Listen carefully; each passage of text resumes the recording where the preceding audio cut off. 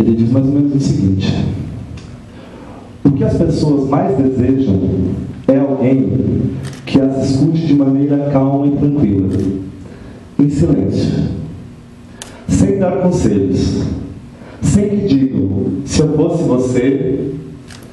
A gente ama, não é a pessoa que fala bonito, é a pessoa que escuta bonito. A fala só é bonita quando ela nasce de uma longa e silenciosa escuta.